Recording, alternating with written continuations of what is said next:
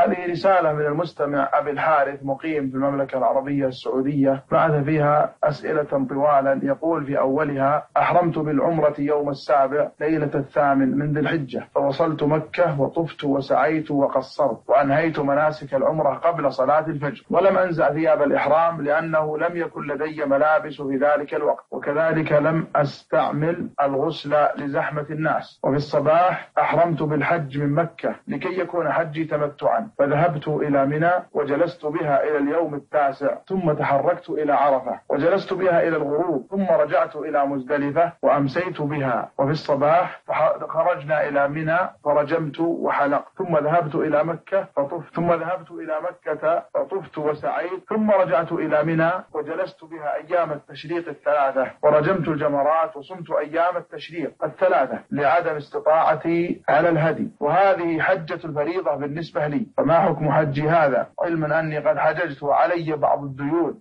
وقد أصاب من ديلي شيء من العطر وأنا ناس فما حكم حجي؟ بسم الله الرحمن الرحيم. الحمد لله رب العالمين وصلى الله وسلم على نبينا محمد وعلى آله وصحبه وبعد كما وصفته من أفعالك بأنك أديت مناسك العمرة كاملة ولكنك لم تنزع ثيابك ثياب الإحرام. ثم نويت الإحرام بالحج وعليك ملابس الإحرام بعد العمرة. هذا شيء صحيح ولا يلزم أنك تنزع ثيابك.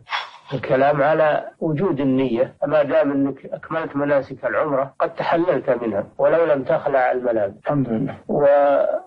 كونك أحرمت بالحج ونويت الحج أيضا هذا عمل صحيح ولو لم تغتسل لأن الاغتسال للإحرام سنة. وما ذكرته من أنك لا لم تجد الهدي وصمت عشرة أيام هذا هو الواجب عليك. الواجب أن تصوم ثلاثة أيام في الحج وأن تصوم سبعة أيام إذا رجعت إلى أهلك. قوله تعالى من لم يجد فصيام ثلاثة أيام في الحج وسبعة إذا رجعتم. تلك عشرة كاملة. فما ذكرته ووصفته من أعمال أعمالك كله صحيح والحمد لله. الحمد لله.